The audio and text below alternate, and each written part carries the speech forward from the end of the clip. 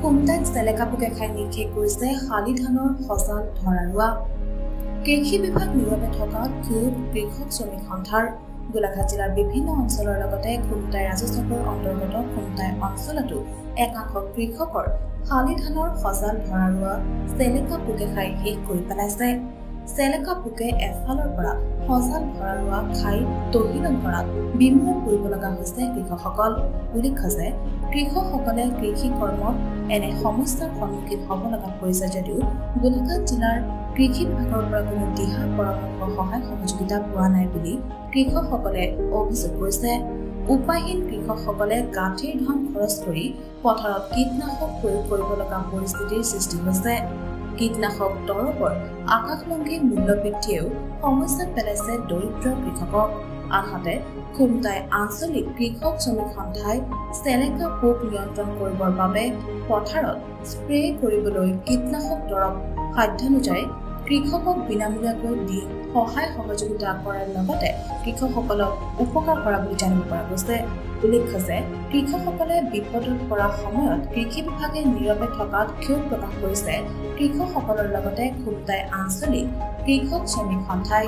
কৃষি বিভাগৰ গুৰুত্বহীনতা আৰু অমনোযোগিতাৰ বাবে আজি কৃষকসকলে কৃষি কৰ্মত সমস্যাৰ সন্মুখীন হ'ব লগা হৈছে বুলি অভিযোগ কৰাৰ লগতে প্ৰধানমন্ত্ৰী কৃষক সন্মান নিধি আঁচনিৰ প্ৰাপ্য ধন লাভৰ পৰাও খুমটাই অঞ্চলৰ অধিক কৃষক বঞ্চিত হৈ আছে বুলি খুমটাই আঞ্চলিক কৃষক শ্ৰমিক সন্থাই গুৰুতৰ অভিযোগ কৰিছে আৰু প্ৰাপ্য অধিকাৰৰ পৰা বঞ্চিত নকৰিবলৈ সকীয়াই দিছে।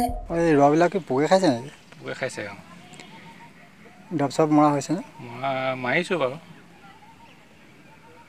বহুত টকা খাই দিলে? বহুত এই এবিঘা এইটো চাফাই কৰিলে।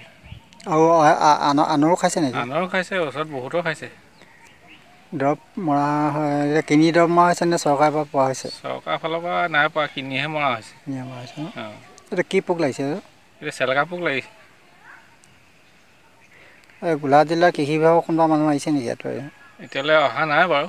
এই ৰোৱাবিলাক পোকে খাইছে? এই ৰোৱাবিলাক পোকে খাইছে হয়। মানে আমাৰ ওচৰৰ কৃষকৰ সকলোৱে মানে অকল মোৰেই নহয় আনৰো খাই শেষ কৰি নিছে পোকে।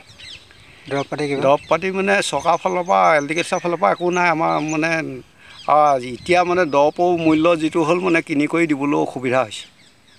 আৰু মানে কৃষক আমাৰ খুমটাই কৃষক কৃষক সেই সন্থাৰ ফালৰ পৰা মানে দৰৱ পাতি অকণমান পাইছোঁ। সেইবোৰকে দি কৰি মানে অকণমান আহিছে আৰু এতিয়া মানে পোক পৰুৱাটো হেৰি হৈছে।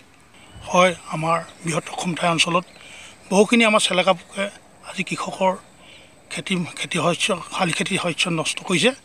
সেয়েহে আমি আমাৰ কৃষক সন্থাৰ ফালৰ পৰা আঞ্চলিক কৃষক সন্থাৰ পৰা আমাৰ খমটাই যি কেইজন আছোঁ আমি সকলোৱে যিটো পাৰিছোঁ দৰৱৰ বিনামূলীয়াকৈ যোগান ধৰিছোঁ।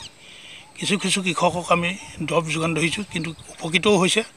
আমাৰ চৰকাৰৰ তৰফৰ ফালৰ পৰা আমি অনুৰোধ কৰিছোঁ চৰকাৰলৈ যাতে আমাৰ কৃষকসকলক খুমটাই কৃষকসকলক কিবা কিবি আমাৰ বিনামূলীয়াকৈ দৰৱৰ যোগান ধৰক।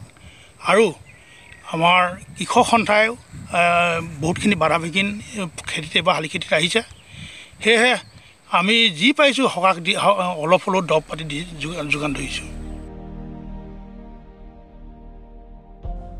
পৰা